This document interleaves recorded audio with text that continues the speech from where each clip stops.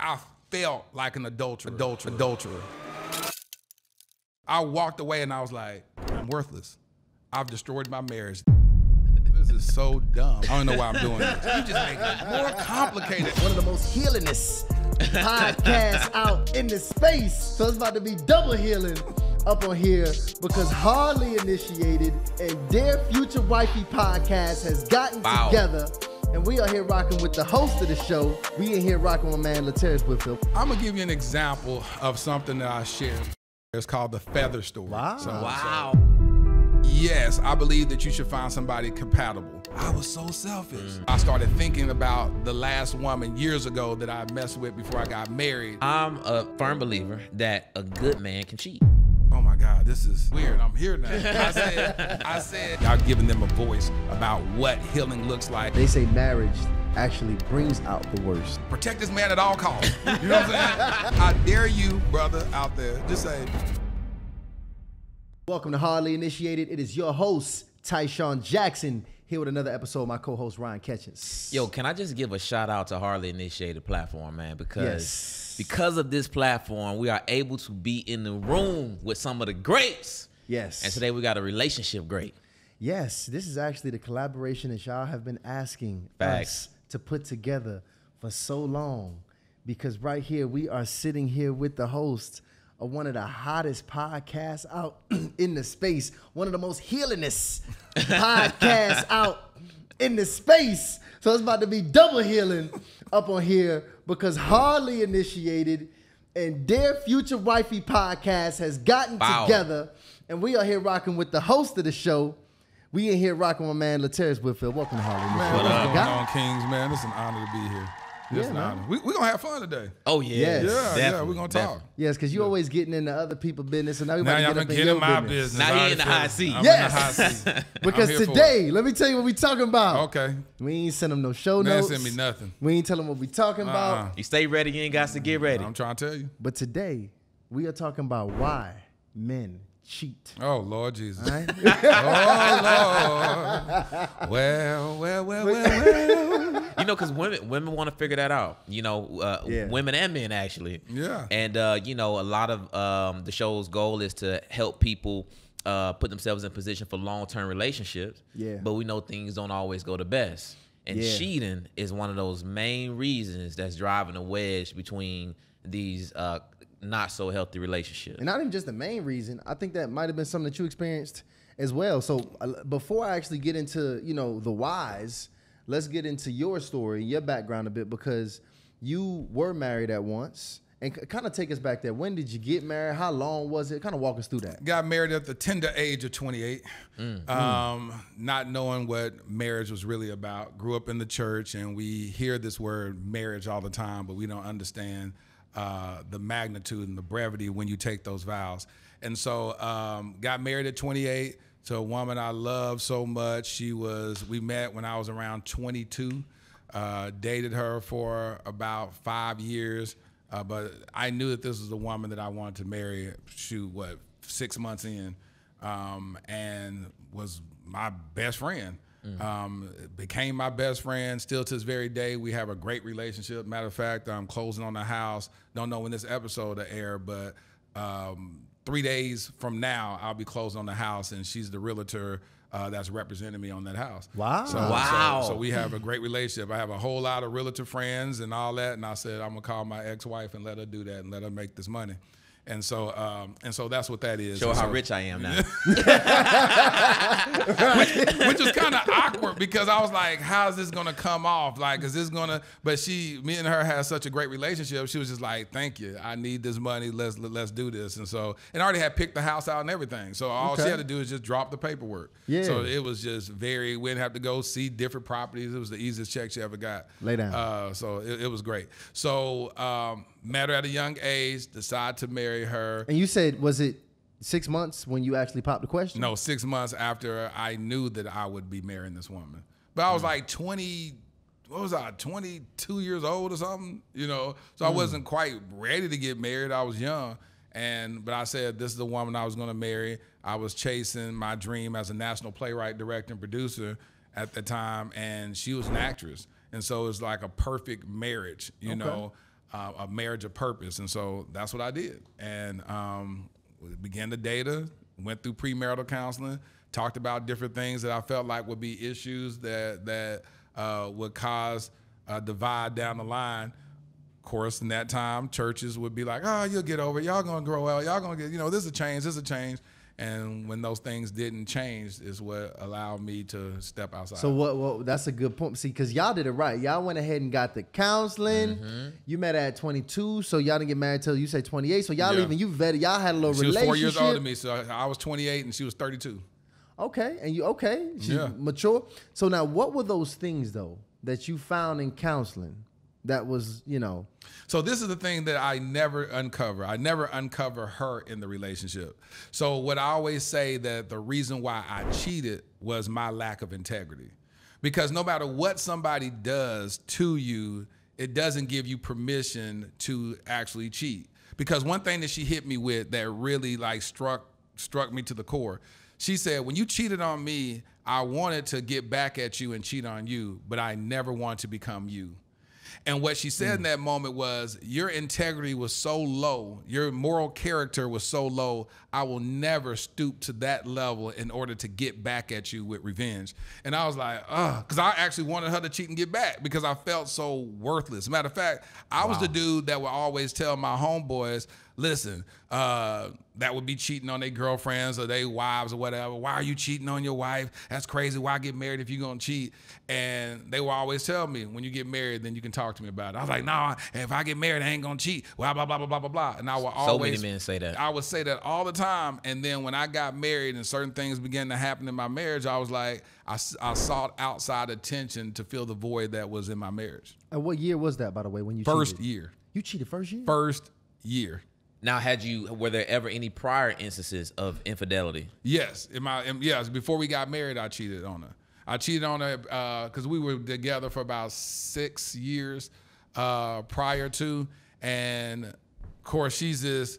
She was this devout Christian who didn't want to have sex outside of marriage, and I was like, okay, I can try to do that. You know what I'm mm-hmm. saying? And that just didn't work with my 22, 23, 24 year old hormones. Just wasn't in So wait, alignment. wait, wait, wait, Y'all didn't have sex from, from We did. We, you know, you had your little slip ups. You know, you had your little okay, moments where you do part. that. I got yeah, you. but she got was a type that was like, I just don't want to do this. Got so you. it was like she would do it, but then you know, deep down inside, she's not all in emotionally and physically and Yeah. all that. And so I was just like, dang, I don't want to be that. So let me just Get some on the side. I'm gonna get some on the side, and then I'll quote unquote honor her if there's ever such thing. I, honor her not to have sex with her, but then I'm gonna cheat on her. So it's this crazy toxic mentality that I was operating in.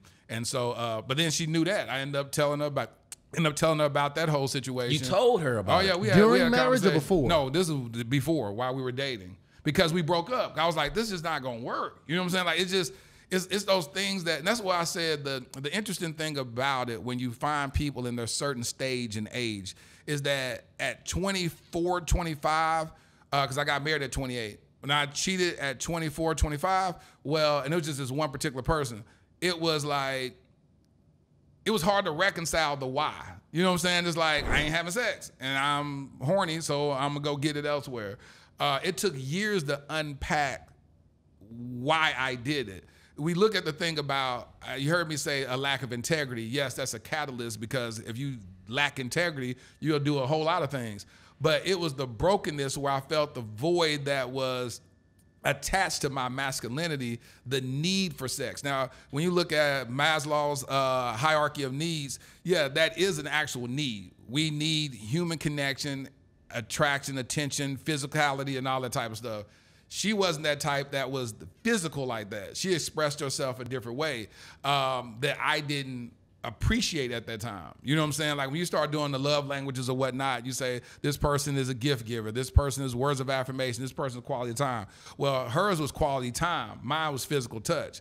So if we spending quality time together and I'm physical touch, we need to go ahead and have sex. That just makes sense. Quality time, physical touch. Actually, we should have sex at this moment. Right. But she like, no, I just want to spend time with you. And I was like, but where do I get my needs met? You know what I'm saying? Mm. So it's it's those things that we talked about in premarital counseling that they were teaching us to say, "Hey, listen, come come across your need and give your mate what they need. Give her the quality time, and you give him the physical touch." But she just wasn't that type of person that had a need for sex like that. So, quick question for you because we had uh, J.A. Jeremy Anderson came on the show. Shout out to that and, king. Yes, shout out to him. And uh, he had a, bit, of our moment with us because he talked about how he um, had resentment toward his wife because she wasn't providing him that level of physical touch.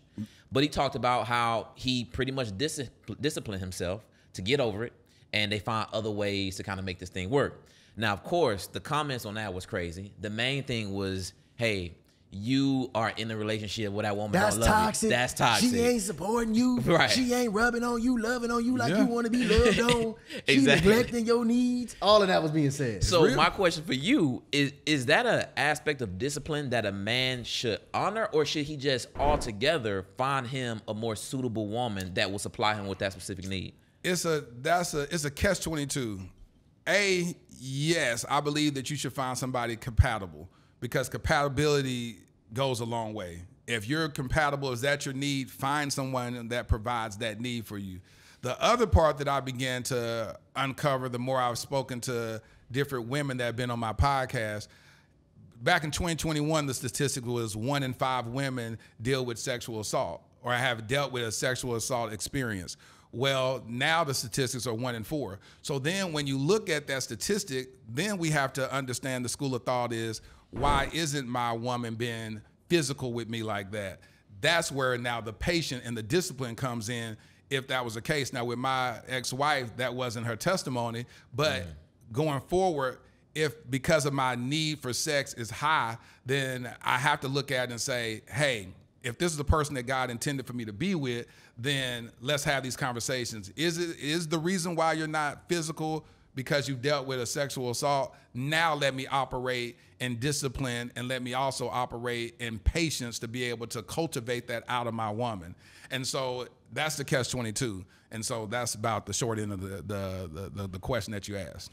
I got that. Was it was it just that though? Like was it just the fact that it, wasn't you wasn't getting sex enough? Was that no, it? it- that wasn't it. That wasn't even a big issue, to be honest with you. Wow. Okay. Yeah, let, that wasn't a let's, big let, issue. Let's get to it. That's the part that I said I would never say.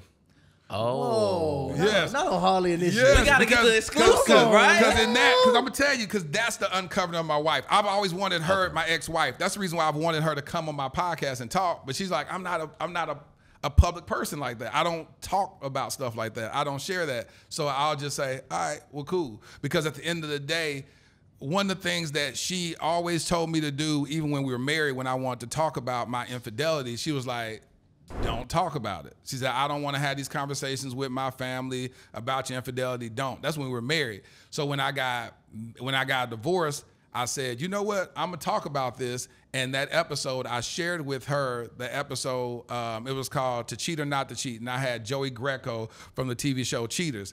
I had him on the podcast. I shared that. He's a Yeah, legend. I didn't know you had him. I gotta watch that episode. I had him on because it was a good friend of mine. And I said, listen, I said, we're gonna talk about this. And that's when I revealed me cheating in my past marriage. Now was I've been divorced five years at this point.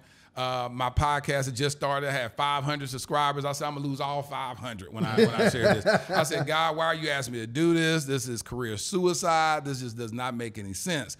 God said, do it. And then it just started growing even more. Women would come in my DMs, talk about how they cheated on their husbands, how they, and their husbands have no idea, or how they cheated on their boyfriends. Their boyfriends have no idea. And men started sharing with me. And I'll have these private moments on Instagram, uh, a video call where I'm talking to couples, walking them through this on the you know in the back channels talking to people about how to get over infidelity but it was through my vulnerability that opened up the door for people to be able to heal because i've gave i've given them a voice about what healing looks like and how to come forward with your infidelity Now you you did you just you said something very interesting.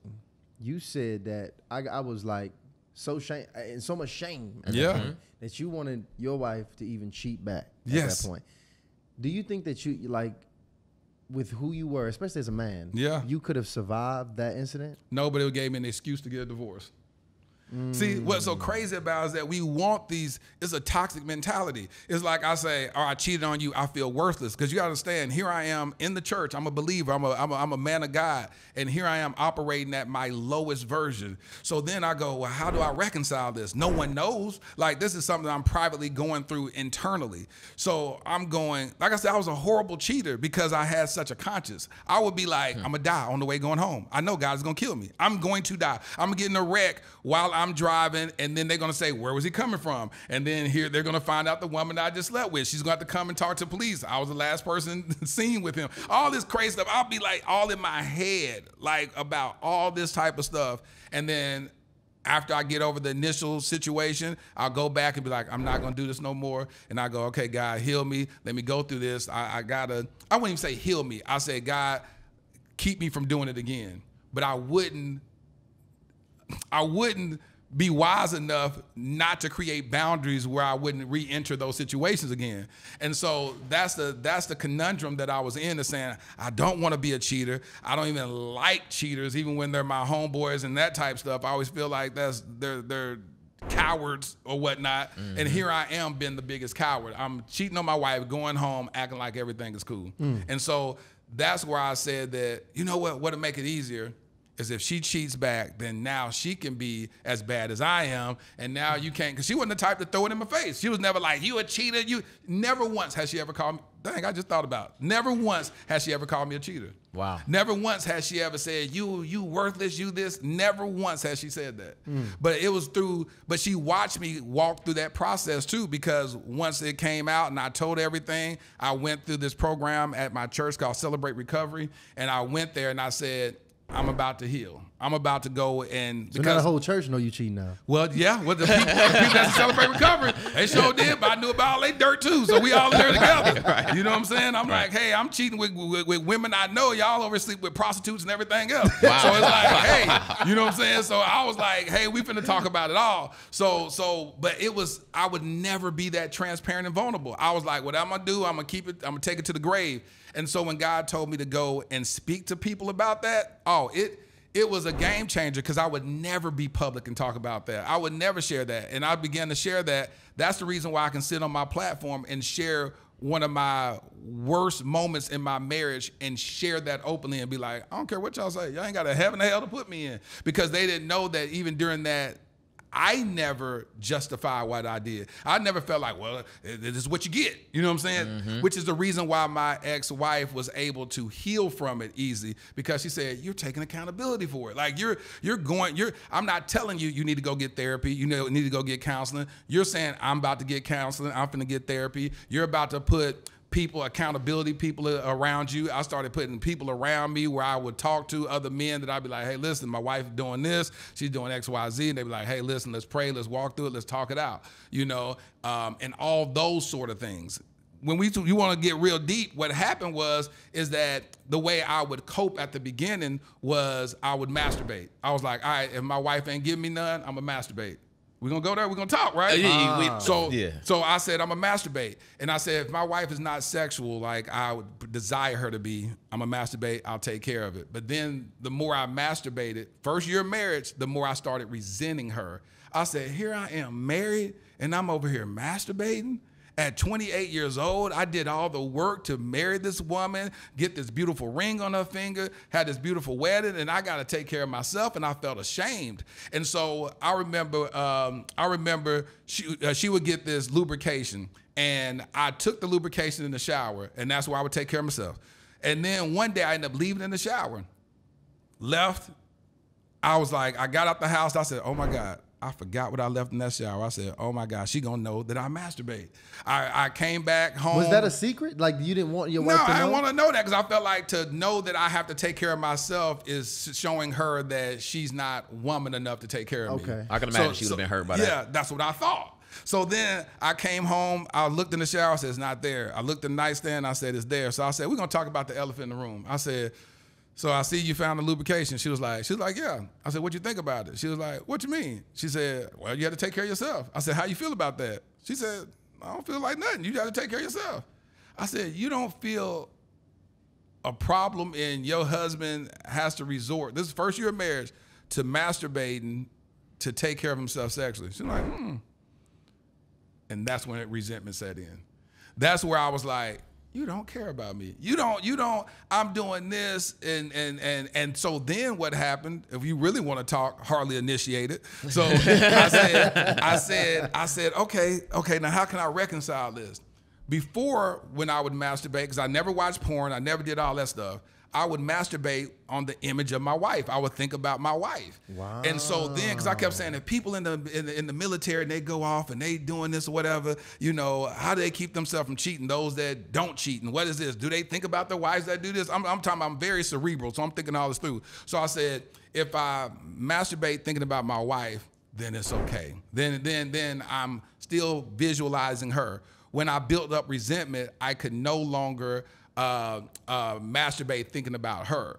And so I started thinking about the last woman years ago that I messed with before I got married. Wow. And then that's the person I manifested back into my life. Wow. I went to a fashion show and I was like, oh, she walked up. She said, hey, how you doing? I said, uh, you know, I'm feeling guilty because I'm like, I Right. just thought about you earlier today, you know? And so I'm going, what in the world? What is this? She's like, hey, so how things going? How's married life? I said, married life is going great. One thing that I used to always do is I'm never going to uncover my wife. I just realized that even when I was cheating on her, you could never speak ill about my wife. Whatever woman, I was like, hold on, hold on. Like if you if you ever wanted me to leave you alone, say something about my wife at that mm. time. So I'll be like, well, your wife ain't take. Hold on.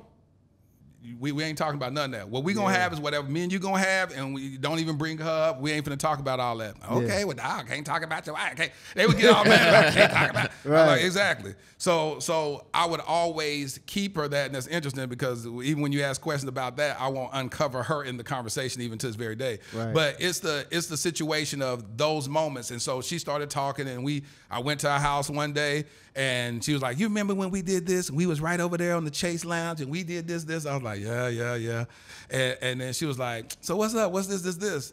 And I was like, "Ah," I said, "Oh my God, this is this is weird. I'm here now. Wow, this is this was happening." And I end up no that day I didn't do it. I left and I was like, "Whew, I got away." I said I wanted to so bad, but I got away. I went home. I was like, "Oh, this is this is terrible." But then that seed was planted in my mind. I said, "Wow, that, when I remember when we did, you know, have sex, it was so free. It was so cool. It was not restricted. It was not. It didn't feel like the pressures of what I'm feeling like in this marriage." Uh, this is a beautiful monologue that in August Wilson's um, Fences that Rose says to uh, that Rose shares in that. She's telling, don't you think I want to go up in a room and, and forget about the problems of this world and shut off the, the problems of this world and have sex? See, a woman understands that, yes, she, those that don't cheat but may have the desire to because of whatever her husband is doing or not doing or whatnot, that monologue like spoke to my heart because Rose shares that, yeah, a woman may think of that as well. When men, when when I was in that moment, I was like, I just didn't want to. I didn't know how to cultivate that out of my wife. I didn't know how to. I was just like, you just selfish. You know what I'm saying? You just you just don't want to take care of me, and you cool with that? Like the, the counselor said that you should be doing this, and you're okay with that. Didn't understand it. So then I got away the first day, and then a couple of days later, I sat back. She called me. Um, and I said, all right, I'm gonna come over there. And when I went there, I knew that I was gonna have sex with her. What was lifted up off of me in that moment, when I say like, it felt like the veil was just torn away from me. I felt exposed. I felt like I had instantly the scarlet letter A tattooed on my forehead. Mm. Like I felt like an adulterer. I walked away and I was like, I'm worthless. I've destroyed my marriage. This is terrible. I felt it. Because what we don't talk about is the oneness that happens during the vows and during the wedding ceremony. It's a oneness that's created in that moment. And what I felt lifted off of me, I just felt like God's hand just did like this off of me. Mm. And then I went home and I was just like, she, she gonna know I cheated. Oh my God, she mm. I, I look like it. I, I probably look like a cheater. Oh, I smell like a cheater. Let's go take a shower. Take a shower. Okay, I can't have sex with my wife after I just had sex with somebody mm. else. So we just gonna be okay with whenever it decides to come along again, then we'll come back to it or whatnot. And then, okay, God, let me rid myself of the shame of this. Let me recommit myself to my marriage and let's go all in. But then the issues still prevailed and it was like, okay, this is this is crazy. So then I started developing a habit of cheating on my wife with that woman. You know what I'm saying? And then when that woman expired, when that situation ended, then I'll wait a long time and then I'll end up finding somebody else and we end up and it always happened from moments of um, one of the things that I realized I had was an issue of codependency. Never drank a day in my life, never smoked weed, never did drugs, never had a porn addiction, but I thrived off of words of affirmation. It's my love language. So words of affirmation. So when someone begins to share, oh, you're so amazing, Laterras, this is great. I'll be like, oh wow, what? And then my ex-wife wouldn't share that. My ex-wife, I'll be like, um, so what you think about this? I did this. I was just, oh, it's nice. I mean, but I did this. Okay, okay. I said, wow, this is this Was, is was she always that way, or did it? Always. She's a very low key person. Like she just she's very low key and chill. She's like, okay. I'll be like, hey, this is this is interesting. But I didn't realize the need that I had to be to be applauded. on, To right. be I needed my cheerleader. I need somebody to be like, you're doing a great job. And Is that codependent, or is that just being a man? well, it's, well, it can be because a lot of men need that. That's why if you go look on the on the side of a football field, a basketball, then you got cheerleaders around it. You know what I'm saying? right. And so it's a, it's a reason why you don't see women basketball players, and then you see men up there talking rah rah rah. you don't you don't you don't see that. You know what I'm saying? So it could be innately uh, the foundation of what a man operates on. But with me, when it comes from an unhealthy standpoint, where you got to go outside of your vows to get it, Right. and you're uncovering your spouse in it, that's when it's moved to an unhealthy space. Right. Um, and so, and then the truth be told, we should be so grounded within ourselves that if our lover isn't applauding us, that we go, you know what, God, I thank you for what you're doing in my life, and I'm gonna applaud myself. You know what I'm saying? Uh, I remember when Snoop Dogg or whatever did this when he got his uh, star on the Walk of Fame. He said, "No, I'm gonna apply myself. I'm happy for myself. I'm this for myself." I was like, "Is that arrogance or is that self-awareness and self-assuredness to say I am proud of me at this moment?" And so that's where I want to operate in today is the place where a place where I say, listen, if I'm not getting the the pom pom shaking, if I'm not getting go Laterras, that I, as a man, that I don't need outside attention, outside affirmation, outside of my woman, in order to seek validation outside of her. Now you, you mentioned not being able to cultivate a certain uh, space with, with your woman. So do you think that there was opportunity for you to do some things to kind of get her to reciprocate what you actually did need? One thousand percent. what does that even look like? Like, what does cultivating your woman actually look like for some dudes? That's I know some dudes struggling with that right now. Oh, they might yeah. not doing what he want. What, what what what are the action steps behind that? I'm gonna give you an example of something that I share. It's called the feather story. My wife came home one day. My ex-wife came home one day, and she had this feather, and she was like, "Hey, I want you to rub this feather on me. You know, when we make love, I want you to rub this on me." I was like, "What am I gonna do with a feather? What? What? a feather? What?" I was like, "You just making it more complicated." I was like, "No, no other woman needed this. We didn't have a feather. It doesn't require all of that." And she was just like rubbing. So then I said, all right, I'm gonna go ahead and do it. So I'm just rubbing on her stomach all haphazardly. I'm doing like this. I said, this is so stupid. This is so dumb. I don't know why I'm doing this. And in that moment, God brought that back to me like last year. He said, you remember when you talking about cultivating all that type of stuff and cre- and now you say you want to create a safe space for your woman? Let's talk about that feather. And I said, oh, I was so selfish. I was so selfish. Mm. She wanted to make love to me. I wanted to have sex with her. She wanted me to be gentle with her. I just wanted to go ahead and get my quote unquote rocks off. She wanted me to be to handle her delicately like a feather, and I just wanted to just jump on in. And I said, God, I am so sorry. I, I, I apologize because at the end of the day, what I did internally was minimize her needs based upon what the other women didn't need. And I was like, the other women didn't say it verbally, but internally I was like, the other women didn't need all that. And now here you, well, you ain't you ain't got the other women no more. This is the woman you made a vow with. Mm. Do whatever it takes to create a safe space with this woman that you that now carries your last name. These other women don't carry your last name. This one does. When the Bible says we become one, at the end of the day, we become one flesh. So if my hand hurts, I'm going to put a bandage on my hand. I ain't gonna say why you need a bandage, why you hurting. I'm not going. I'm not to criticize my hand for hurting. I'm going to meet the needs of my hand. If we're one flesh, we're one body. The need of my wife has to be taken care of, and out, and, and the main way to take care of it is out of selflessness. To say you need this. Is this what you're gonna need to be the best version of yourself?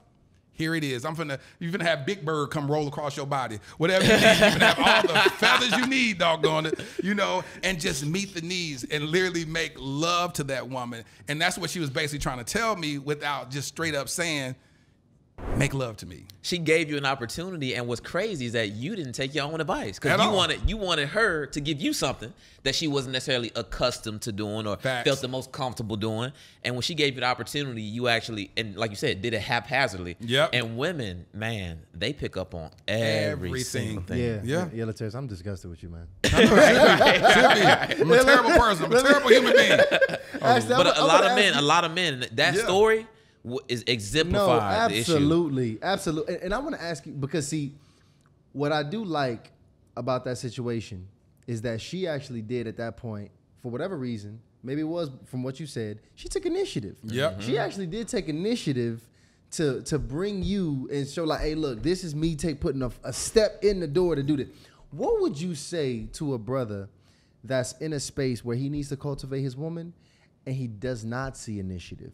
So like, what does that look like? What does cultivation in your woman look like when she you don't really feel like she's trying? How do you spark her to try to take some initiative? I think what happens is you have to listen. She said it before, you just missed it.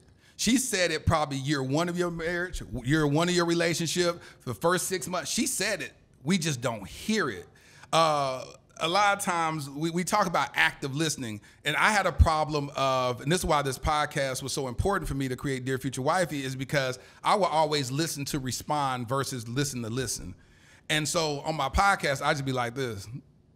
And I'll just listen to people. And it's allowed me to dial into them on a deeper level. Well, in my marriage, I would be listening to respond, and I and, and a lot of times I was responding with, You ain't doing this for me. You know what I'm saying? It's like it, it, internally I would feel like that and be like, and didn't even think about, oh, I'm telling you, it literally took.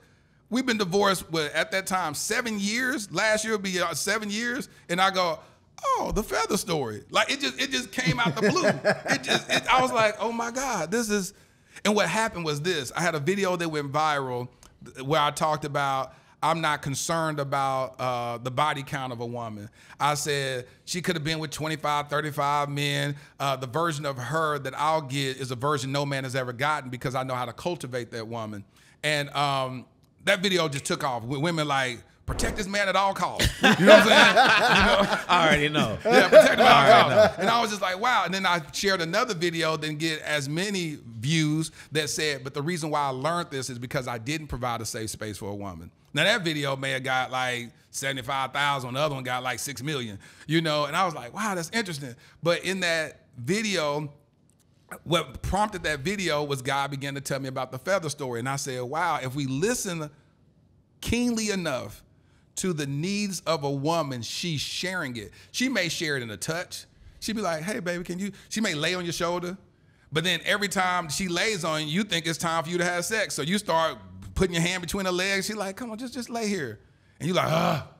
Well, she just said it. Just lay here. Just, just let me find this moment. Just lay on your shoulders. That's enough. Let her lay on her shoulders. Let give her a massage. She say my back hurt. Give her uh, uh, give her a massage without it leading to sex. You know, and just walk away. She'll be like, "Oh, that's it." You're like, "Yeah, I took care of you." She's gonna be like, "Well, okay." And the next thing you know, she may flip it on you, like, "You better come over and give me some." Mm. But but but initially, she was just like, "Oh, my shoulders hurt. Give me a massage." You like, "All right, this is foreplay." No, let it just stay right there and be like, "You good? You taken care of?" And so, if you listen to your woman, because all women are different, that very rarely will you find anybody that has never communicated what their needs are. It's very rare. If you listen long enough and you listen to the beginning of your relationship and the things y'all got in arguments about, disagreements about, points of contention about, they've said it. They'll say, You don't spend enough time with me. You're like, ah, yeah, I'm working, I'm doing this or whatever, blah, blah, blah, blah, blah. It may show up in, I'm not gonna have sex with you. She ain't never said, "Give me time, I'll give you sex." But but so so you just say, "Ah, she don't she don't want to give me none or whatever." What did she say? Her need was, "You don't spend time with me. You don't take me out enough. You don't tell me you love me enough. You don't tell me you, I'm beautiful." Whatever those things that she said that she stopped saying, Yeah.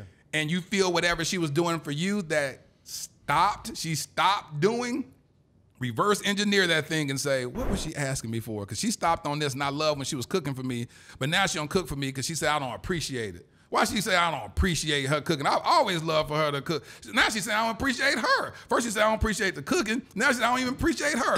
what in the world is going on? I do love when she cook. She don't appreciate it. What, what is she doing? Oh, she's cooking for me, but I don't even say thank you no more mm. because I'm just so used to it. And I feel like that's what you're supposed to do. You know what I'm saying? Right. You know, and then so if you now she's cooking for you, like, you know what, you know what? You and I both have day jobs. We both work. And you take time every day. I don't know how you do it. You're a superwoman. You go, you cook, I mean, you go work, You're a boss at your job, you come home, and then you cook for me. I thank you so much. I appreciate that. You're an amazing woman. She's gonna be like, what? Yeah, and I just want to I just want to show you that I appreciate you. And to, uh, tomorrow you ain't got to cook. I'm gonna take you out to this restaurant you've been always talking about you want to go to. What? I guarantee you gonna get you some after that. I guarantee you your needs are gonna be met. Women are incubators. You can take something, deposit it in a woman, she's gonna always give you back more than you've ever deposited into her. But if you deposit selfishness in her, if you deposit uh, um, um, anger because you're mad at her all the time, she's gonna incubate that anger and you're gonna get it back in a different way. You give her a seed, she incubates that, gives you a child. She gives you something greater than you'll ever give her. And so that's what I say for a man who says, Yeah, she ain't telling me what she wants. She said it, you just wasn't listening. And I'm, I, you know, Yeah, I- I that, can that's very, how- very, very practical advice. very practical. Yeah. And I can see how men struggle with that because, like, most guys, they have different women to meet different needs. Yes. You know what I'm saying? So, like, at this, I- I'll have this one here for some sex. This one here, I like to go have some fun with. This one here, I like to do this. Yep. So now to have to meet, have one woman meet all your needs can almost feel like a very weak place for a man. Because if it's not working, like if the need ain't, it's like almost like the woman, you think the woman broke Yeah. like, like, what's going on right now? What's, I got it. Like, you think you got to go elsewhere, and you may not have even trained yourself to know how to cultivate a woman. Most guys not even trained in cultivation in a woman because that's not how they've operated. It's like, okay, I'm, I can't get it here. Let me go somewhere else. yes. So I, I I can imagine like cultivation is really a skill set. Yeah. It takes an exceptional, what should be standard, but an exceptional level of attentiveness. And I think most guys, when they realize or they come to the realization that effective communication is important to the relationship, they think that is us clearly stating intentions, needs, expectations. But they also have to understand the dynamics of a woman. Yeah. And you have to learn how to decode and decipher these certain subtle communications. So, is there a, a, a certain strategy that you have for learning how a woman operates? Well, like I said, every woman is different. Talk. One of the things that they say most men don't do, unfortunately, is they don't talk enough. They don't mm. share their heart. They don't ask a woman. Just ask her. Just try. it. Just I dare you, brother, out there. Just say, baby, what what do you need more of me? She ain't gonna say nothing. She gonna say, "Well, I'm glad you asked. I'm glad you asked. What made you ask me that? Oh my God, That's I've been yeah. wanting you to say that. For, what made you? What, what, what did you watch in order for you to say that? Well, I just, I don't know. I just feel like I just want to know what, what, what, what, what would you like more of me? I would like for you to do X, Y, Z. And she may give you a whole list because you may have left her uncovered for a long time. I want you to do this. I want you to do that. You don't do this. You don't help with the kids. You don't spend time with this. You don't say, and then don't get defensive. You ask. She told you. Be a good student. Write it down. Okay. You need this. You need this. Okay. I can't promise I can do all of this in the next three days, but I'm going to work on all these things. And I'm going to continue to have checkpoints to ask how I'm doing. I said one of the things that uh, I wish marriages had, and this is one things that I'm gonna enact in my next marriage, is reviews. On a job, they not gonna let you just be doing whatever you want to do for for a whole year. You you have uh, uh, a 90 day review. You know, um, and, it's funny when you get hired at a job. What's the first thing they put you on? They'll put you on a probationary, probationary period. period, yeah. yeah, and they they gonna say, "All right, we hired you. You did good on the interview. We feel like we chose the right person, but we're gonna see if what we feel is actually what we're gonna get in return." Yep. And so they'll watch you. They'll see if you come to work on time. They see if you can take uh, orders or whatnot, take direction, see how you perform on whatever that job is, and at the end of it, they go, "Your probationary period is over." If if you failed in that situation, I'm sorry, but we we're not we're no longer gonna Not gonna be able to do it. we're not gonna be able to do it no more. But it was it was great while we had you. But uh, go ahead and see HR um, and get your little box. They're gonna have some security walk walk you out. If we had that in marriages where we say checkpoints, 90 day reviews, 60 day reviews, whatever, and literally go back and say, what am I doing? How am I performing? And literally have it questions, points out. This is what I need. This is who I am. And y'all look at it and be like, you've been doing good on communication, quality time, not so well. But I understand because you had a loss. Your your your your father is battling cancer. He spend a lot of time in the hospital right now, whatever. But y'all can have checkpoints. Because what happens in marriages is when you hear a marriage that grew apart, or you hear people say we got divorced for irreconcilable differences, those are only problems that y'all couldn't resolve, that y'all probably didn't spend enough time trying to resolve. Y'all just said, we grew apart. Unmaintenance relationships. Yeah. How, well, how'd you grow apart from somebody? At the end of the day, that means that they went one direction and you went the other direction. We all evolve. And so giving each other grace for the evolution is what makes a relationship last till death do we part. So the person you said I do to at 25, it's not going to be the same person that you still say I do to at 35 and 45 and 55 and definitely not 85. But if you go through those those those seasons together and be like, okay, when I met you, you were a school teacher. Now you're an entrepreneur trying to do a candle business. Well, you got to give that person a grace to say, as a human being, you have the right to not be doing the same thing you did at 25 and at 35. But what their needs are at 35 now running the candle business is going to look different from a teacher. They're going to school, doing what they do. They get so many, um, they get the summer off, you know. Um, but now they're doing a candle business. They may be working 18 hour days. They doing this. They need you to help. You ain't never need to help them as a teacher, you know. But now they're like, hey, can you carry these boxes from the car? Hey, I'm finna go set up at a trade show. Can you come with me? Like, God, I ain't, I ain't want to be in the candle business. You know what I'm saying? It'd be like, but as your spouse, you need to be able to say, listen, this is my woman, this is my husband. I'm going to come alongside of them and help them continue to fulfill their purpose. And so just listening to that person and asking them, what do you need? They're gonna always not. Now, if you got somebody that just don't talk and won't share what they need, or they're afraid that they're gonna hurt your feelings if uh, they tell you that, that's another issue that you need to uncover because that means that you haven't created a safe space where the person can be honest with you about what their needs are. And then, then at that point, then you need to get to therapy. Uh, I recommend therapy like crazy for for husbands and wives, or even dating relationships. Before you even get there, let's talk about some stuff so that we can prevent some stuff before it happens in the future. I like that. And uh Laterra, so let me so this is my personal opinion. Okay. Talk. Let's talk. I'm a firm believer that a good man can cheat. Now, I think a good man, right, the the the not so savage one, is going to have that levels of remorse and guilt that we talked about, right? Yeah. And I know you went over some of the few steps that you can take to get over that. Yeah. But I wanted to ask you this because I think this is a a, a, a well well uh, known debate. Do you think that coming forward with your infidelity is part of that? Is a mandatory part of that healing process? Yes. Wow.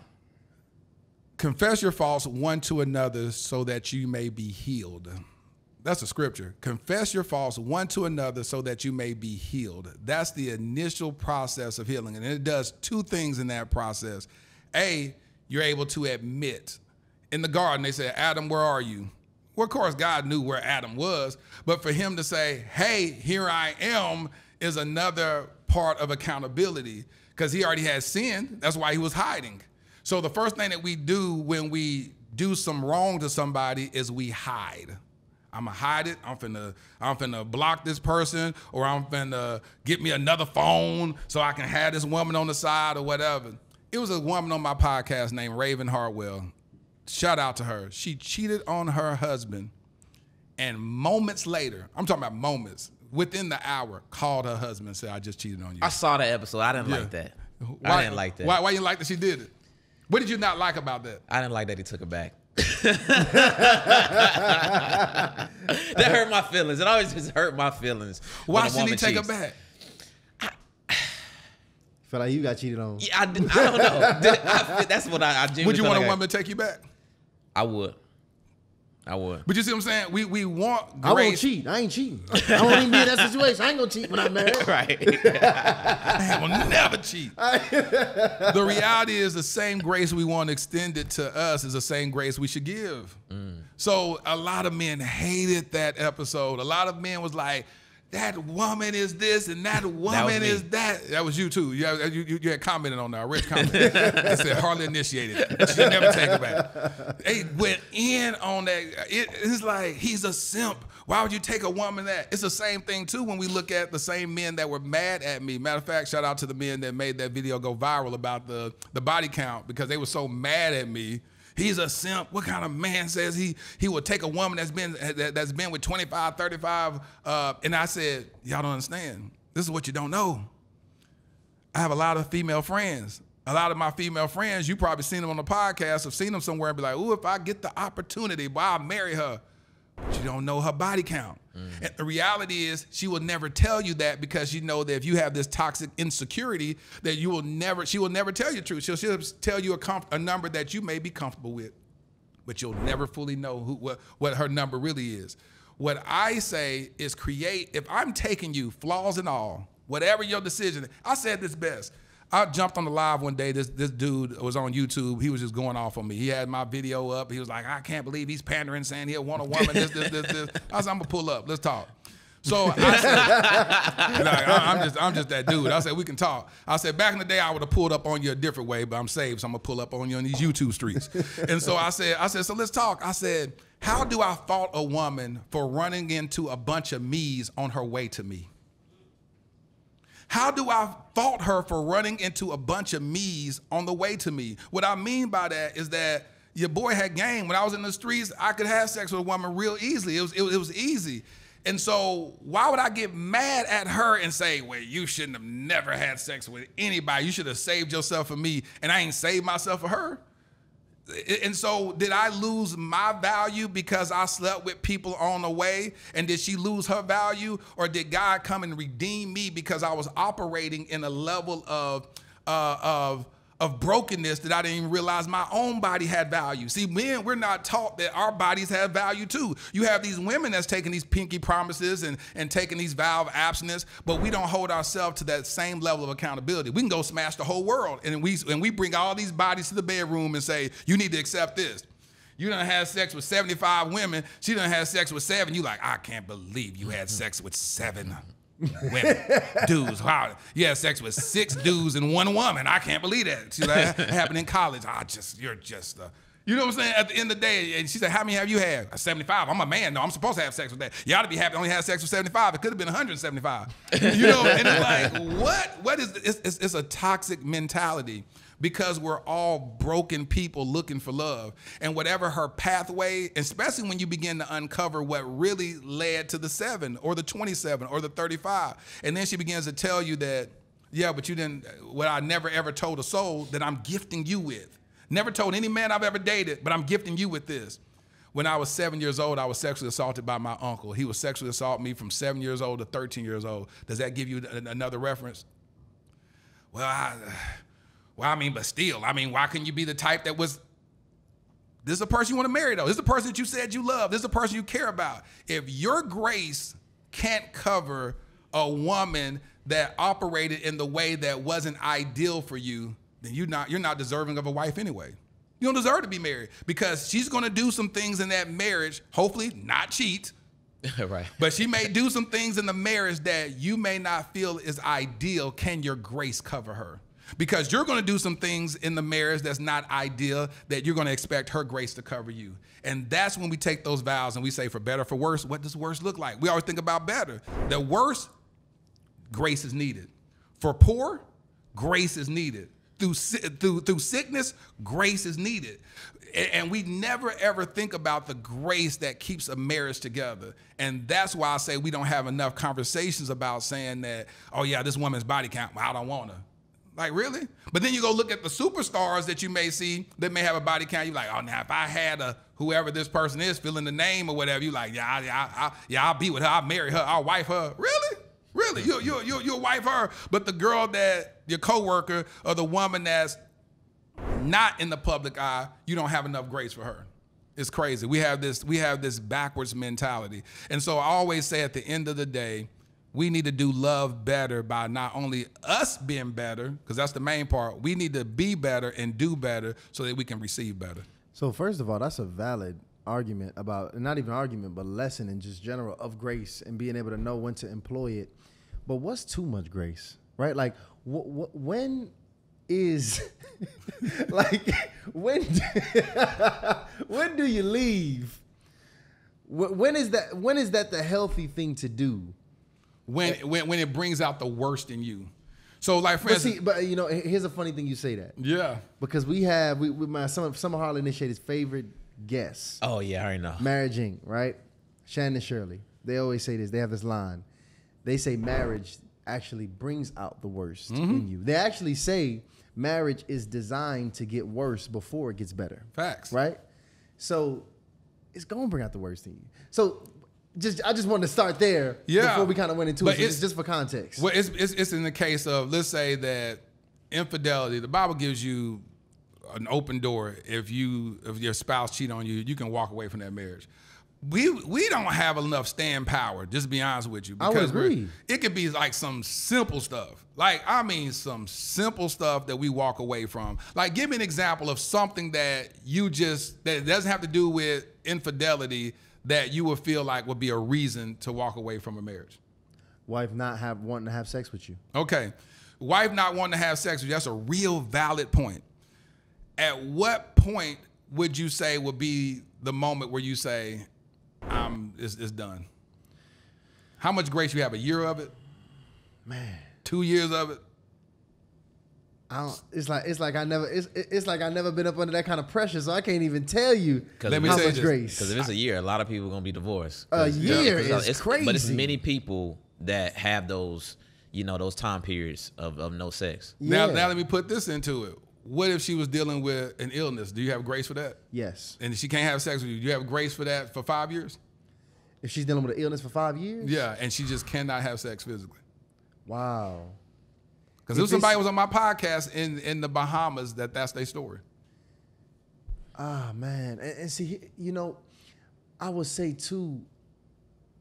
I want to say yes. I want to ideally, I want to say yes, but I even think the phase of my life matters. Like you know what I'm saying? Yeah. Like, So if you're I'm doing it at this age, yeah. I've been married to my woman for 15 years. Five years happens. I don't want to say that I'm gonna leave my wife. Right. I mean, first year marriage, you know, you telling me I can't have sex for the first five years. I can't say I'm the same brother. That's true. it's, it's like it's all these variables. I, I, so I don't know. That's true. I talked to a lady that's, uh, that DM'd me that said her husband was dealing with the illness, and for 17 years they didn't have sex. 17. 17 years, and she cheated on him uh, with somebody she knew in the past. Is that even cheating at that point? That's what I'm saying. It's like it's like That's just eating. and- They ain't cheating. That's eating. just trying to survive at that point. and that's and that's what I'm saying. It's like we think about this stuff and I'm like, wow, that is that is absolutely crazy. Like I don't know the answer to that. It's like because at the end of the day, if God told you to marry that person, then God knew that that person would be dealing with whatever it was that they were dealing with, and hopefully the omniscient God knew that you had the grace to cover that thing. Because there's some people that ain't had sex and they ain't married and they ain't had sex in 25 years. I've had people that came to me and said, I've been abstinent for 30 years. And I said, that's not a testimony. It's just not a testimony. Because it just it just sound it sound like 30 years. It's like, why haven't you like what's Right. what, what's going on with relationships? Are you are you too picky? Are you too this or what? Let's just talk about it because I believe they can uncover other stuff. Because at the end of the day, if that's your desire and you haven't had that met, if you want to be married and you want to do that and you've been abstinent for 30 something years, I always say, well, how has that been working for you? Uh, do you actually masturbate? Do you have every toy collection ever created? You know, like how are you coping with it? You know, but when you talk about people that, when we talk about grace, how much is too grace? it's crazy because when you talk about grace, it's also synonymous with forgiveness. And and they asked Jesus a question, how much should I forgive my, my my my brother who sinned against me? Seven times? He said 70 times seven. Well, we're not doing the math and say 490 times, but we go and look, we go, hey, listen, at the end of the day, if I married you, married you, we took a vow. Now, if you're talking about somebody that's just selfish, that's a different story. At that point, you gotta say, listen, this is the this is not bringing out the best of me. You haven't you're you you don't you're not dealing with any trauma. You have nothing. You just don't want to have sex. You just you're just punishing me at this point. And I'm not I'm not signing up for a marriage where you are physically punishing me because my body is yours. Your body is mine, but you're saying that I can't have access to my body at this point. So, okay, I, I think I came to. I, I took that. That's what I do. I take words and I summarize things. I draw from it because what you said and what I got from that is that when it becomes toxic is when somebody with intention Yep. begins to neglect you. Yep. at that point because I think that is very different. You talking about sickness hits, Yep. you know, life comes at you. That's way different than when somebody operating with intention to be able to try to put you in a space. And that's what I mean by is bringing out the worst in you.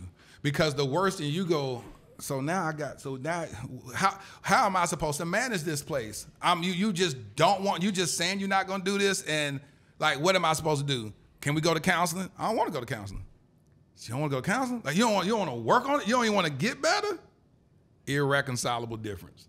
That's where that comes in. Like this is irreconcilable difference because you don't want to change it and you mm. just you don't want to do nothing. You just want to keep me miserable. You want to be married to me for whatever benefit you see, but you don't want nothing to change. Well, at that point, I know for a fact God is gonna give you grace to be like, son, you did great. Especially if you didn't say, let me go step out and I'm gonna go cheat. You say, listen, I feel like my morality is gonna compromise if I keep going through this. Just common sense.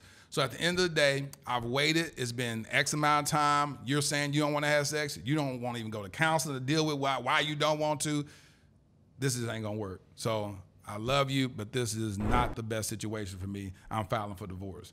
But what I, a lot of stuff that people are getting divorced from is just silly stuff. Like we grew apart, but it's because of stuff that you really didn't really like. Go back and my whole thing is if you get a divorce, did you exhaust every resource on trying to make it work? Because at the end of the day, you're going you to have to be accountable to your kids. You got to talk to mm-hmm. your kids if y'all have kids. You got to be accountable to God. You got to be accountable to yourself and say, you know what? I did everything I could to make this relationship work, and it just didn't work. And that's where you get peace. I had peace when I divorced my wife. I had so much peace. I said it's a crazy thing, and I said, God, teach me how to divorce my wife with grace. As exact words I said, teach me how to divorce my wife with grace. And I said, if I'm successful in this, I said, I'm never gonna tell anybody this.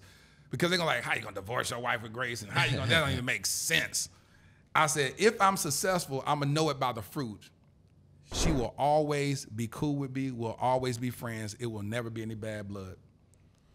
I've talked to my ex-wife about a woman that I dated right after her. And she was like, ah, why you let her do that? Why? You know, you you would never allow a woman to treat you like that. What is this? And we talk, I know I did this. I feel like God got back at me because of the way I treated you. Like even my ex-wife, I didn't, I wasn't, people were so shocked that we got divorced because we had a really great relationship. Like we was cool. We didn't argue, we didn't do none of that stuff. It was just cool. And then when we got divorced, I got divorced saying this is I felt like my marriage was the cursed fig tree. It wasn't producing the fruit in season. And so I said, this just didn't, it wasn't bearing fruit. I couldn't live out my purpose. I couldn't do none of this stuff. And I just said, and I talked to her, I said, listen, we need to get divorced. And she was just like, ah, you just, come on. You, you- I said, we're going to meet with our counselors. We're going to tell them that. I'm going to tell them we're getting a divorce. Went there the next day, told them, hey, listen, we'll get divorced. Can you at least wait 60 days and then, and just, and just be alone. Don't make any haste decisions. I said, I respect y'all. I'll submit to that. I'll wait 60 days. After 60 days, I said, I'm get divorced. And so in the whole process, my my ex-wife was like, okay, cool. Like she didn't argue, she didn't fight it. She didn't like, you ain't finna divorce me. She was like, okay. And and I was like, wow, this is awkward. And so and so and so in the whole process of the divorce thing, it was just cool. I was like, what do you want? She told me what she wanted. I said, you can have that. Cool. Boom. You can have everything. I'll start all over.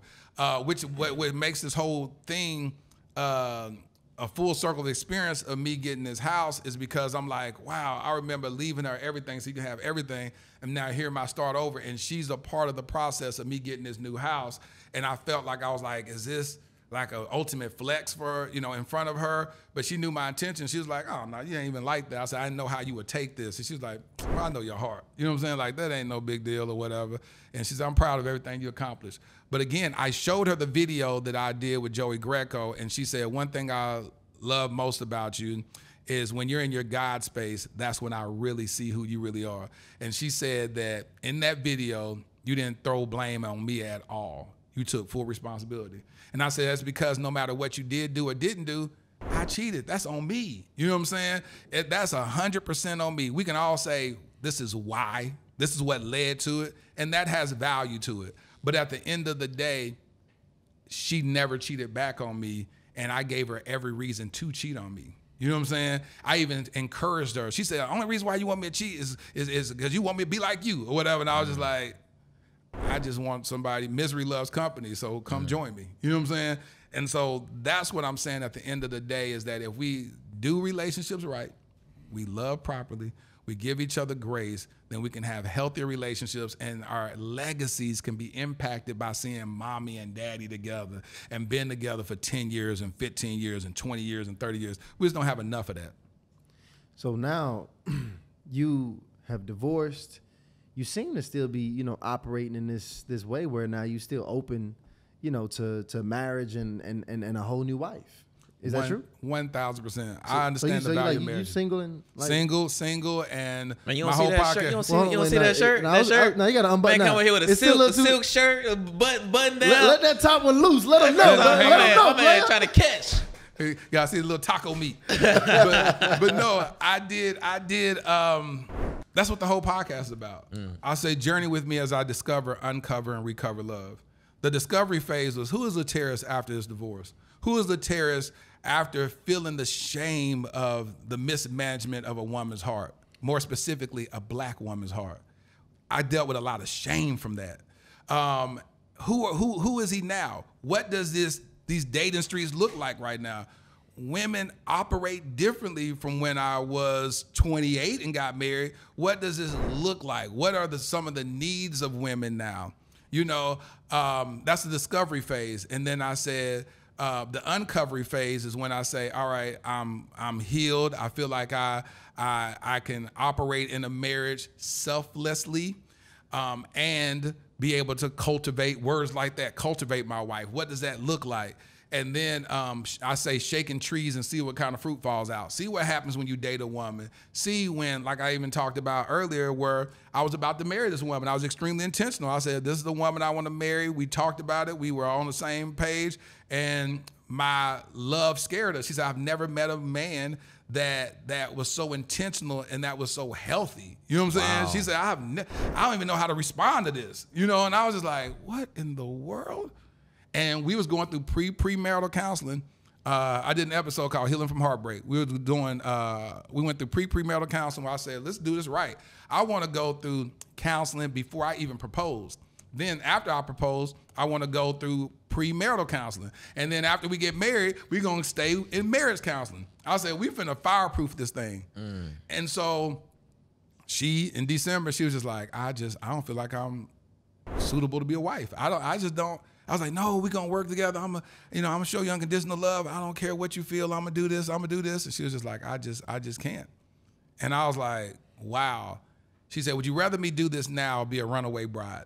Mm. And I said, I'd rather you do this now. Wait, what she put on you for you to be acting like that, trying to make this I, woman a wife? I just loved that. That's who I was gonna marry. I just, I, it was so many things that were in alignment with us, and it was like this, this is my wife. Like this was, it was so effortless. It was like we were dating each other, and she was just checking off boxes that she didn't even know she was checking off, and vice versa. We used to keep lists of confirmations of things that we told God that we wanted, and we would just I was like, what? Where we at now? What confirmation we at now? Number 23. You know what I'm saying? It was all these things. I was like, okay, I would be a fool not to take all these signs and say this got to be the one. And I mm. was like, and I'm, I'm telling you, this happened over a course of like three months. And it was like, yeah, it was, it was, it was quick. And I was like, hmm, all right. Cause I had to check myself. If you met everything that you were looking for, would you be willing to pull the trigger? You know, and I said, these dating streets ain't.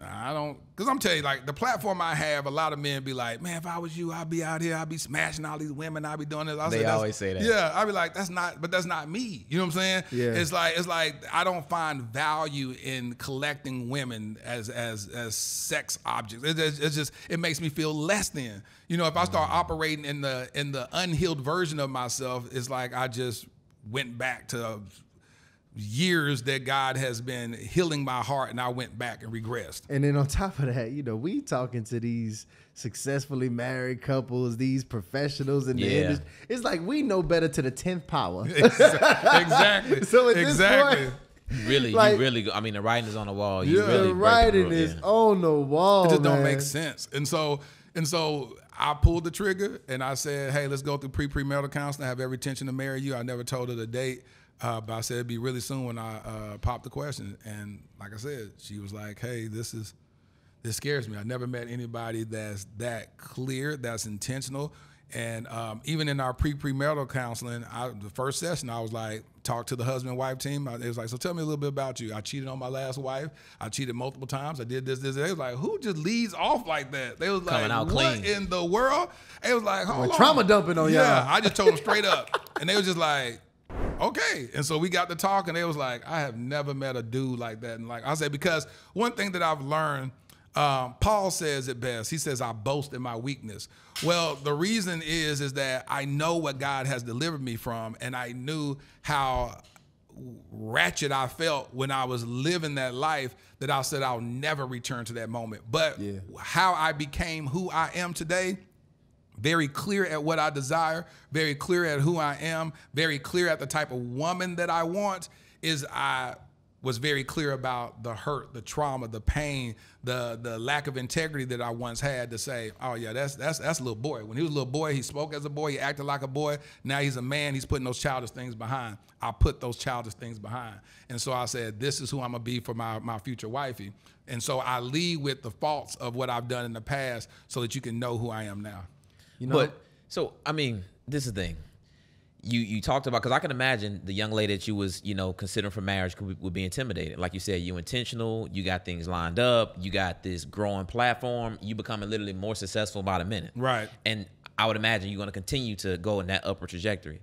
So are you telling me that you don't have any doubts whatsoever that you may one day find yourself again laying in another woman's bed or have another woman in your bed? No, because I don't have the need for it. Another thing that I did in 2020, I began to discipline my fe- my flesh by taking a vow of abstinence. Wow. And so in tw- in December, I said, you know what? I said, sex can't be that. Like, how many women do you really want to have sex with? Like at the end of the day.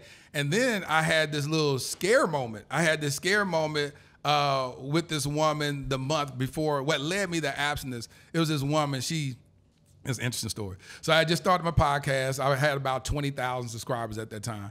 She um she slid in my DMs. We got to talking and whatnot. We went on a couple of dates, and I would just say, "Meet me at the restaurant. We'll meet," and it'd be really short and sweet. And then one day she was like, "You always just rushing. You always just come meet with me, and then you just like just really quick." And I said, "All right, when I when I I'm, I'm in LA right now. I'm shooting uh, a proposal. When I come back, we can I'll pick you up and we'll go out to eat." I picked up, went uh, a few miles down the street, we ate. We sat down. She said, I Googled your net worth. I said, huh? I said, how much you say I'm worth? She said, 3.5 million. I said, whoa, shoot. I said, boy, I'm so glad. I said, I said, because I'm only worth about 3.5 million pennies, because I sure ain't worth no 3.5 million dollars. She's like, yeah, yeah, whatever. I said, no, for real, trust me, I'm nowhere near a million. I'm not even a millionaire at all. She was like, yeah, yeah, whatever, whatever. I said, well, Google it now and tell me what it says. She Googled it. She said 6.6 million. I said, wow, I done made, I done almost doubled everything from from last week. And she was like, so she's thinking I'm playing. I'm like, listen, don't believe everything on the internet. I am not worth that at all. She was like, yeah, yeah, yeah, whatever. I said, no, I'm not. So I go to drop off. She was like, gosh, can you just, can we just sit in the carport area and talk? And I was like, well, I got to get ready to go. I need to go back from the studio. I got to work on stuff. I got to edit what I just shot and all this. She said, can we just talk? Can you just pull over to the side and talk? So, all right, so I pulled over, we talked, and then she said, now you can leave. I said, cool. So I went to drop off at the front door, and when I went to go drive, these poles that were outlining the porte cochere, it, it, it, it, scratched the side of my, my truck up. And I was like, oh my God, I just dented my truck because I couldn't see it. They were really, really low. And I was like, man, God, dog, I'm finna have an insurance claim. She said, just come upstairs. I said, no, I'm finna go. I'm finna go back to my office. I'm finna work. Can you just come upstairs? I said, no, I'm finna go to my office. I'm finna work. Laterras, why are you so stubborn? Just come upstairs. I said, for what? I don't want to go. Come. All right, so I went in park. We walked in. She walked straight to her room. She changed, came back with these little, them little, I call them little house shorts. Those shorts that the girls wear that stop right below their mm. booty where it crosses to their leg threshold. So The bad. devil. You know, yeah, just So right bad there. that. Yeah, just right there. Just stop right there. You'd be like, if you just do like this, I'm gonna see your booty cheek. And so, and so she came out with that, and I was like, and I was like, I do not want to have sex with this woman. I don't know what she's doing. I'm mad. I done dented my truck up. This is crazy. So I'm sitting there with my face in my hands like this. She said, uh, she she comes, she starts rubbing on my arm. She said. Come on, let's just chill. Well, you know, just take your mind away from. It. I said, man, I just don't. Nah, man. I said, I dented my truck up. This, this, this. She said, come on, come on. She got rubbing on me, grabbing me. I said, all right. So I laid her down. I began kissing her. I laid her down. Then, like I said, she had little house shorts on. I put my hand between her legs, touched her vagina. She didn't no underwear on. She said, get out. I said, what just happened? She said, get out. I got up. I walked. I said, I done missed all the clues. I said, the game done changed. Right. I said, I done missed every, what is going on? These mixed signals or something. So I, I didn't say nothing. I walked to the door. She walked me to the parking garage. I get in my truck and I'm sitting there and I'm trying to reverse engineer everything. And I said, she Googled my net worth. She said this. I did. This lady gonna try to extort me. Wow. I said, "Oh my God!" I said, "Oh!" I just broke down crying. I said, "What in the world? I'm so stupid. Why would I even go to an apartment if I knew that this, this, this, this?" So I just started like, I just started crying. I picked up the phone. I said, "Listen." She said, "Why did you do that? Why'd you do that?" I said, "Well, because you." You changed. You came with the house shorts. You did this. You started rubbing all on my arm. You was doing. I didn't want to have sex. I didn't. I said, but I, how am I supposed to know you doing this? What? I just. I told you that I wasn't trying to have sex with nobody. And this, this, this. I said, but maybe for them, but for me, you was acting like something. I was sitting there and she was just like, I just can't believe it. Now you're trying to say it's my fault. I'm not saying it's your fault. I'm just, I said, okay, I can't say nothing right. So a couple of days went by. Uh, I called her a couple of times. She's like, just give me time to think. So then I didn't call her. I was like, I'm just waiting for the police to show up. They're gonna show up. They're gonna, she gonna, she gonna do something. Luckily, none of that ever happened. But she ended up calling me, said, Now you ain't calling me. I said, You told me I need to give you time to think, and now I'm giving you time to think, and now you feel like I done kicked you to the curb. I don't know what to do. Just tell me what I need to do. She said, I need to come see you. I said, Oh God. I said, I don't think that's a good idea. She said, No, let me, let me, wow, now you're not gonna see me. I said, Okay. And in my brain, I was like, well, if I don't allow her to see me, what if she calls the police? Like I, mm-hmm. I was just in this crazy situation. Extreme manipulation. Oh my God. So then she came to me and she was like, listen, when you touched me, I was like, you know, what I wanted with you, I didn't want anything physical unless we have a relationship and all that type of stuff. And when you touched I said, I didn't even want to come up to your place. I didn't want to do nothing. And you rubbing all on me. You came with the little house shorts. That that's this is sending a different message. And I just had this whole little conversation. And I was just like, she was like, well, can we just start? Or can we be cool? And I was like, I don't know about that. Because if I can't if I can't read you, it I, it just it just throws me off. So she was like, just just please just don't like kick me to the curb base. This would be cool. Well, the next month I said I know how I can fix all this because I'm into I have entered into a space that I just not privy to. I don't have no experience with. I'm in this space right now where people see me as something that I don't even see myself as. Mm-hmm. And this woman has Googled my network, believe I'm worth 3.5 million, and I wish I had three. 3500 in my account at that time. I was like, what are you talking about? So I said, forget it. I'm finna take sex off the table. I'm finna find the value in myself. I'm finna get to knowing who I really am. I'm about to consecrate my flesh, discipline my flesh, and I'm finna walk this thing of abstinence out. And so that's what led for me to take a vow of abstinence. I did on my podcast. I brought this pastor on. We did this whole little moment on there. And I said, hey, you know, I'm out the game. Now, throughout the time or whatever, I've fallen off from time to time or whatnot, but my heart is still committed to abstinence. Um, and so the reality of that was again, being in those spaces as men, not even understanding that all she had to do was just claim rape. And here I Mm-hmm. am It's over with. defending myself. Like, and I would literally, in the way I operate, I would just say it. I would have said the exact same story to the judge. Hey, listen, yeah, I rubbed a vagina. I did. She didn't have no drawers on. And she did this, this, this, this. I would tell, they'd be like, well, oh. And I said, she told me this, she told me to get up. I got up, I walked out the door. I don't know anything I would have done differently. If you asked me to do it again, I would do the same thing the, same way. I said, but now knowing her personality, I just would have never went upstairs. You know what I'm saying? But the smart thing about it is for men to not put yourself in uncompromising situations to where a woman can say anything to you or say anything about you and now you got to defend your character because they never the the innocence of you is never amplified as loud as the guilty of you. You know what I'm mm-hmm. saying? So even the accusation is never going to be is going to be louder than but I didn't do it. That's you know enough what I'm to saying? it's enough to ruin you. Yeah, you'd be like, God, no. So I was just, so I felt like God allowed that opportunity to happen for me, for me to operate in wisdom to say, all right, I'm going to take you somewhere and take you to another world. I'm finna take you to another dimension. And I need you to make sure that you're very wise about where you place yourself and put boundaries around you. So a lot of times I'm just working. I'm in my office. I'm working all the time, and um, and it's, and it has made me a little gun shy about meeting new people or dating people. I don't be going to people's houses. You know what I'm saying? I just Yep. be like, I, I, I'm telling you, I be like, Mm-mm, nope, nope, because now I got a lot to lose. I got a lot. Well, to the lose. thing is, there's some great women out there now, but there's, Yeah. some, there's some demons out there. Yeah. And the thing about it, you talking about you talking about your net worth, but it's women who will get you caught up in something for a lot less. Yep, yep. For a lot less. Yeah. So I'm glad that you now in this space to where you are protecting yourself. Yeah, got to. Yeah. Got to. And, I- and and and I mean that's just the reality of you know kind of being out, and I, I guess that's why too. A lot of the men have been communicating to us. You know, it's way different. You know, and even easier to find a woman when you're early in that building phase, and you just you know you still swinging that hammer. Your status ain't all the way there. Yep. You're building your money, and it's a whole different playing field than when you already are either arriving or on your way. Or when it's perceived that you arrived even on your even way. perceived, Right. Which is what happens when you get up online. Yeah. But man, I'm gonna tell you this, man. I'm man. Let me tell you, Laterras, I'm super impressed with your story, your testimony, Mm-hmm. your vulnerability, as well on the platform because you taught me a lot, Facts. um, and I'm sure the people done learn a whole bunch today. Matter of fact, I, I want to ask y'all this too.